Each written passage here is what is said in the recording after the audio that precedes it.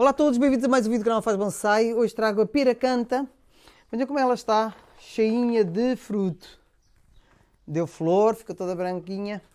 Ficou mais deste lado porque esteve mais exposto ao, à luz solar. Isto é, virado para sul. De qualquer forma, aqui também, aqui ficou, como estava mais sombreado, não apanhou, não fez tanta flor. Mas daquele lado, do lado direito, fez. Bem, o trabalho nesta piracanta não, é, não há muito a fazer.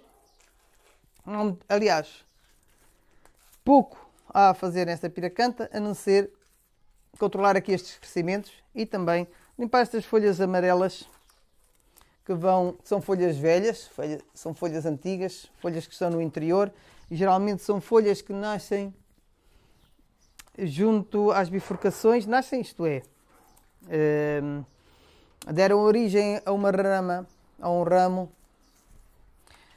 e, e está ali, estava ali a consumir, uh, a consumir uh, alguma energia e a própria árvore vai libertando. Pronto, aqui é só pensar, porque vamos pensar esta árvore uh, baseando-nos na saída da folha e nada mais. Folhas amarelas saem. Está. Alguma folha que está a nascer para baixo também retiramos. E folhas grandes podemos cortar a meio para permitir a entrada de luz no interior da árvore.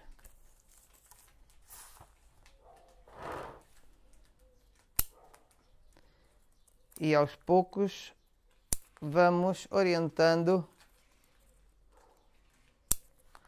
orientando o crescimento da árvore.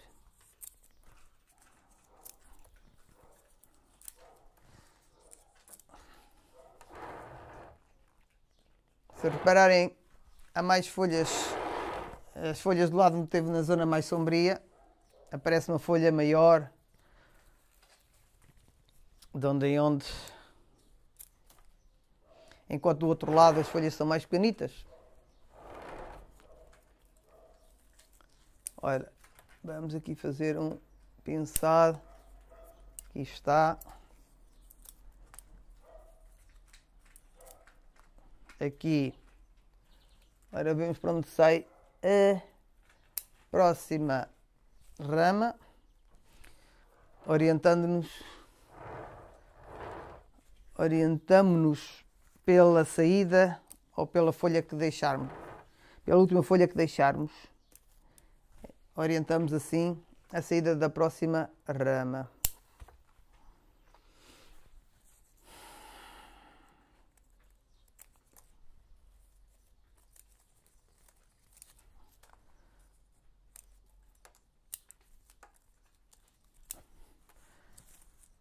Quanto aos arames, não, há, não tem muitos arames, não estão a cravar. Ótimo. O que é ótimo. Pronto. Trabalho simples. Trabalho simples de hoje. Devolvermos aqui esta forma a esta piracanta. Agora podíamos limpar um pouco estas ervas daninhas mas já não vai ser neste vídeo. Farei à parte. Espero que tenham gostado deste vídeo. Subscrevam o canal, deem um gosto. Um abraço, fiquem bem. Até o próximo vídeo.